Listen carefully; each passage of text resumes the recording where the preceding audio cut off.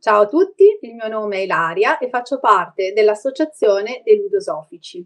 I ludosofici sono un po' dispettosi, si divertono a fare infatti molte domande, domande che apparentemente sembrano molto semplici, anzi quasi banali, poi però portano a trovare delle risposte, risposte che possono trasformarsi in nuove domande. In certi casi risposte non ce ne sono, oppure se c'è una risposta, questa risposta quasi sicuramente, anzi sicuramente, si trasforma in una nuova domanda.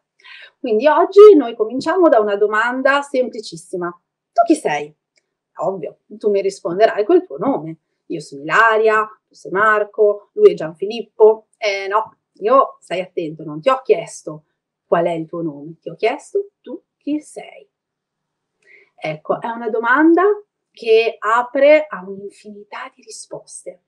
Ad esempio, possiamo però, come prima cosa, iniziare a guardarci allo specchio, come hanno fatto degli artisti prima di noi.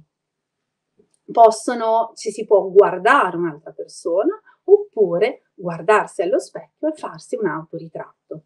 In questo caso vediamo il ritratto di una giovane ragazza, la dama del pollaiuolo. Ecco, se noi la osserviamo per bene, vediamo tante cose che ci possono aiutare a indagare chi è lei, a capire cioè come lei eh, è, eh, si, si sente, come lei si percepisce, quali potrebbero essere alcuni tratti del suo carattere. Così proviamo a guardarla per bene. Vediamo un'acconciatura molto curata, vediamo delle maniche di un tessuto molto particolare e anche prezioso. Quindi già capiamo che è una ragazza molto elegante, molto ben vestita. Eh, poi però guardiamo bene lo sguardo. Guardiamo questo sguardo che guarda quasi, è come se guardasse lontano, in un punto imprecisato. Si starà annoiando o starà riflettendo? E quindi possiamo già capire che magari possiamo fare delle ipotesi, ovviamente, non possiamo avere delle certezze, però possiamo pensare che stia mh, appunto pensando a cosa voglia fare da grande oppure sta ascoltando i racconti noiosi di una vecchia zia, quindi magari si sta annoiando e sta cercando in qualche modo di vagare con la mente eh, per trovare eh, immagini che la possano divertire. E quindi in questo modo, guardando una persona, oppure anche guardando l'aspetto esteriore di una persona, guardando lo sguardo, guardando l'espressione, già possiamo capire tante cose. Però possiamo anche fare un altro esperimento, ossia possiamo provare a immaginare come gli altri ci vedono. Ad esempio, in questo libro c'è una simpatica capretta, Elena, che ha una grandissima casa, una grande casa con nove stanze e ospita per l'estate tanti suoi amici. Prima che questi amici arrivino, lei prepara le diverse stanze, cercando di indovinare i gusti di ciascuno di loro in base a quelli che sono eh, i tratti del principale del carattere oppure la professione. E così, ad esempio, prepara eh, per uh, una maglialina molto romantica una camera tutta rose e cuori. Quando però questi amici arrivano, occupano le stanze ma in maniera totalmente diversa rispetto a quello che Elena aveva immaginato. Quindi Elena aveva preparato tutta una, se- una serie di eh, cose che secondo lei avrebbero reso il soggiorno dei suoi amici eh, più piacevole, pensando però a quello che lei pensava che a loro sarebbe piaciuto. Poi loro invece hanno scelto tutt'altro. Quindi vedete anche come non solo l'aspetto esteriore racconta sì di quello che si è interiormente, ma appunto si possono fare delle ipotesi, non si può avere la certezza. E poi anche di come gli altri ci possono vedere, ma in realtà eh, questa immagine che gli altri hanno di noi a volte non corrisponde a come noi ci sentiamo, magari solo in quel momento, ma comunque non ci corrisponde. Oppure pensiamo anche all'essere maschio o femmina mh, spesso ci trattano in maniera diversa. Ad esempio, si dà per scontato che alle bambine piace sempre il rosa e ai bambini il blu. Ma chi l'ha detto? Tanto una volta non era così. uno. E poi c'è un altro libro bellissimo di Bianca Pizzorno che si chiama Extraterrestre alle pari e racconta di questo ragazzo eh, o ragazza, non si sa, perché un po' questa la questione, che viene da questo pianeta da Deneb. Si chiama Mo. Quando arriva sulla Terra tutti vogliono sapere se è maschio o femmina, per, eh, in maniera tale da uh, comprargli i giochi, i giochi oppure ma, per comprargli i vestiti. E lui non capisce qual è il problema. Dice, vabbè, ma io posso giocare sia con le macchine sia con le bambole. Io posso vestirmi sia di giallo, sia di blu, sia di rosa. Chi se ne frega? E invece no, qua sulla Terra tutti volevano sapere appunto cosa fosse in maniera tale da trattarlo in maniera diversa.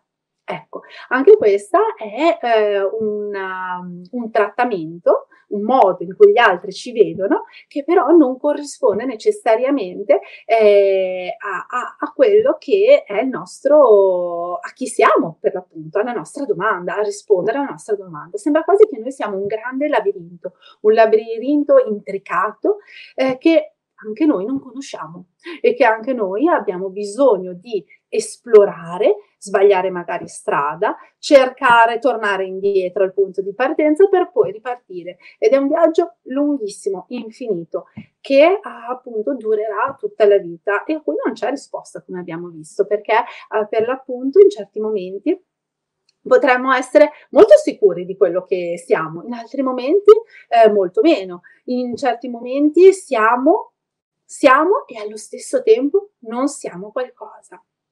Ecco, ed è proprio da lì che è iniziata il nostro viaggio nella filosofia, perché appunto qualcosa come noi può essere e allo stesso tempo non essere. Ecco, spero che eh, siate molto confusi perché eh, è da qui che comincia appunto eh, la meraviglia del nostro vagabondare filosofico, eh, farsi delle domande e poi cominciare a camminare, un, un, cammino che come vedete può avere molte strade, strade che non si connettono sempre semplicemente tra di loro, ma che è bello anche semplicemente smontare per vedere un po' dove si potrebbe eh, capitare e quindi meravigliarsi insieme.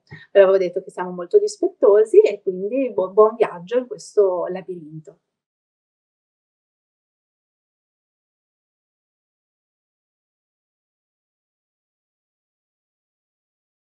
Buongiorno da Elena e Silvia della Biblioteca Delfini di Modena. Oggi abbiamo alcune proposte di lettura sul tema Incontrare l'infinito e siamo partiti da due domande. Che cos'è un ritratto? Che cos'è un autoritratto?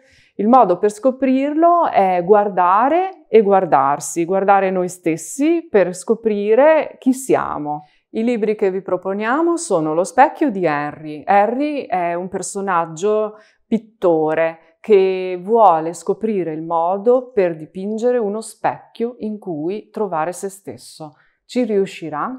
E poi abbiamo Ben, un coniglio molto vivace ma diverso dagli altri conigli, che cercherà di scoprire chi è facendosi aiutare dagli altri amici animali.